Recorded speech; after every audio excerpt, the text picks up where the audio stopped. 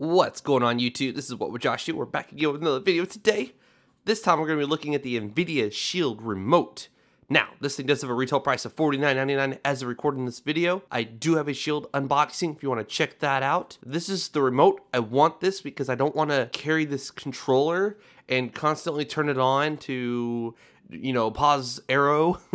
I'm heavily into that show trying to catch up and get to the end of the season for waiting for the next season to come out. If it's already out, I don't know, but yeah. So I don't like to turn my remote on to just to pause it or something. I like to have a little remote that's tiny and doesn't require batteries every, you know, few weeks or whatever. So I got this thing. Plus, I can also plug in some headphones into it and listen to my show uh, if my so I don't wake my daughter up or something like that. So this is, I honestly want to say it's overpriced, but it just depends on how bad you need this. It does come with the remote, and the remote does have a headphone port on it, and the it's just a little bit heavier, a lot bigger, and it's gonna take more batteries than this little guy's gonna take. All right, here we go. Shield TV remote. I do have the stand coming as well, so we're gonna have a full like thing. We're gonna have all the accessories for the Shield, and we're gonna make videos I'm not going to make a video on the stand itself, but when I do a video on the NVIDIA Shield Pro that comes, uh, to, says June 12th it ships, I will have the stand included in that video. So here we go. Headphone jack for private listening, microphone for voice search. That's another really cool thing. This does have a built-in microphone, so you can chat. Oh, and for those of you that are curious, USB webcams do work on the NVIDIA Shield. I was live streaming on my Twitch because it does have built-in Twitch streaming, uh, at least with the latest update. I held down the home button when I first got it, and it didn't pull up the Twitch broadcast thing, but after I updated it, it did bring up the Twitch broadcasting. So you can live stream from Twitch, and you can hook. I have a crappy little USB camera, and it was working just fine, and the audio was coming from the headphones that were plugged into the controller. Or you can, if you don't have headphones plugged into the controller, it'll just use the microphone from the controller, which isn't the best microphone in the world. But I know I got a lot of questions about that, so I'm going to go ahead and answer that now. Let's go ahead and open this thing up and play with it. All right, let's do this. Let's do this. Very nice packaging, actually. I guess if you pay $50, they want you to have a nice box. What else is in here? Wow, they include a full-size micro USB cable for charging it. Very cool, because I really do like these cables. They're very firm. They're solid. I haven't had any issues with them. And they got the NVIDIA logo on them, which is awesome. You got some books and stuff that you're never going to read. So let's go put all that back in there. All right. So cool. Let's go ahead and peel this back. And yeah, so it does take a built-in battery. And what you do is you charge it like this. So the battery in here is going to be non-removable, but you're going to be able to charge it up really easily. You could plug this into the USB port on the back of the shield, or you could also use like a power bank, for example, that we just got today. Or, I, mean, just did the video on today. I got a couple days ago. But and then you plug this in, and boom. It doesn't... Oh, it's pulsing. I don't know if you can see that very well, but it's pulsing. That is charging. That's pretty cool. I like that. That's neat. It's not like a little bitty tiny light at the bottom here that you can barely see. Very thin remote. Like, insane thin. Like, that is a ridiculously thin remote. Very lightweight it's almost like it's nothing in your hands. That's awesome. So you've got right, left, up, down, like okay, enter, whatever. Your microphone, I'm assuming, and then you got back, home, and then the voice search, and then of course that charging port for charging this up, and then that headphone jack for listening to your scary movie or you know whatever it is you watch that you don't want others to know what you're watching. All right. So very cool. Let's go ahead and play with this thing, hook it up, and yeah.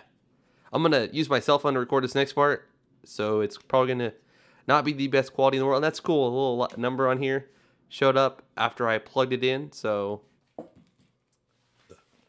go ahead and do that again. Plug it in, little number shows up. Now it's charging. That's awesome. That is freaking awesome.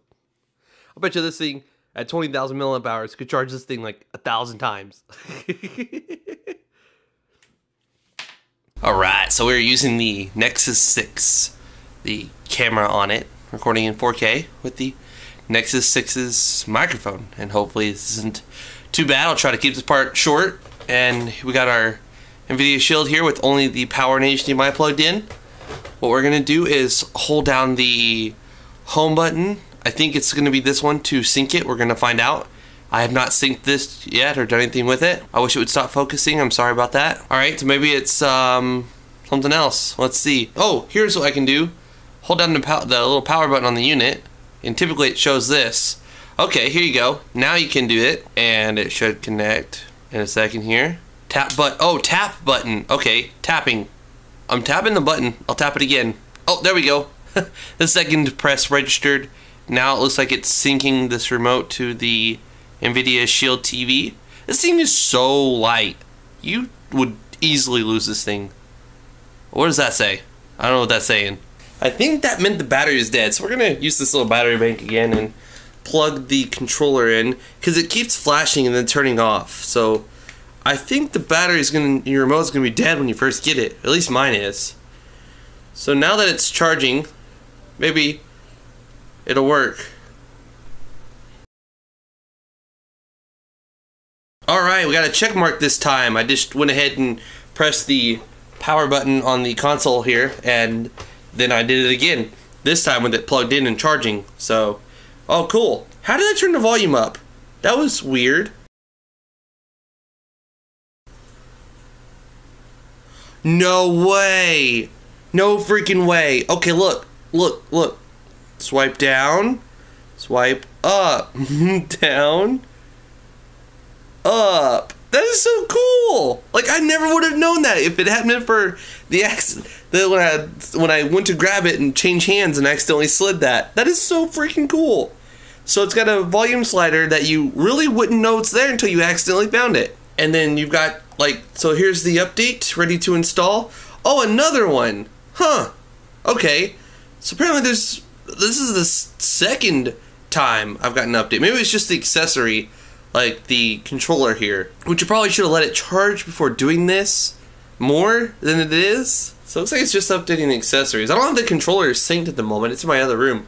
And also I noticed that the old NVIDIA Shield controller I had had a home button there. I know it's hard to see, but it had a home button there. And that one's got like a circle button, like the new Android home button. No, you're not going to be able to see it in the picture there. So this is really cool. And if you're watching a scary movie or, again, something you don't want everybody know what you're watching, you plug in your headphones to this little port here, and you can control the volume with the little uh, invisible slider here. Alright, we got a little check mark, and our controller looks like it's off at the moment. Oh, okay. It's not actually off. It just looks like it's off. There's no lights or anything. So I probably gotta unplug it and plug it back in now. Now it's pulsing. So can you not use it while it's charging? That would be a little bit of a bummer. Huh. Alright, now that I unplugged it, it looks like it's working again. Let's go ahead and charge it one more time and see if... Yeah, no, it cancels out all the buttons whenever you plug it in. That's a little bit of a bummer, so just make sure that you have it fully charged. Before editing the video, I just thought I'd uh, go ahead and disclose some additional information that I found. I did plug the micro USB cable that came in the box into the bottom of the remote and it's charging via the USB port on the Shield TV console. And I have learned that it's pulsing, letting you know that it's charging, and I can still use the remote while it's charging. So I'm thinking that this is a data cable, like it's literally a wired connection at the moment and it's just charging the battery. So if you have it plugged into like a power bank or a phone charger, uh, it's going to probably shut off the wireless in the remote and just use wire, you're not going to do because you're plugged into a power bank. not sure. Again, this is all speculation, but you can charge it if you plug it into the USB port on the back of the console. So let's try the searching again. Uh, you also do have to hold down this button, arrow. Let go when you're done talking, and now it's going to find arrow. uh, watch Flash I'm addicted to Flash. I'm caught up. I love the show. And my wife was talking about how Arrow and Flash usually merge, and so finally I started watching it. Now I'm almost caught up. All right, that's about it. You can use the remote when it's charging if you're connected to the NVIDIA Shield, as far as I'm aware. Again, this is just the like experimenting, finding things out about it, running tests. Uh, yes, I do have Chrome installed, and Chrome does work just fine. So does Firefox, and all the other little things I've sideloaded on here. And then to go back, I just press the back button, and if I go to like the Google Play Store, I can hit home to take me back home. I believe the battery in this thing needs to be charged some more because it's just not responding at the moment and I can't use it while it needs charged. So this was just the unboxing. I'm going to have a full review of this thing probably here in the next week or two after I've had more time with it. I definitely recommend picking it up. It is an amazing media center that can handle MKVs, MP4s, uh, pretty much anything Kodi can handle and Kodi is amazing, amazing software that allows you to view any video you want to on your TV. So when I go over to my family member's house, I will be able to bring this little guy with me. Well, this one I'm not keeping. I'm giving it away. I have a pro one coming on the 12th, and that'll be what that I bring with me places and you know, hook it up to their TV and watch movies and stuff like that. If you enjoyed this video, please let me know by giving it a thumbs up. I'd greatly appreciate it. If you're new to my channel, please consider subscribing. This is What Would Josh Do, and I'm out.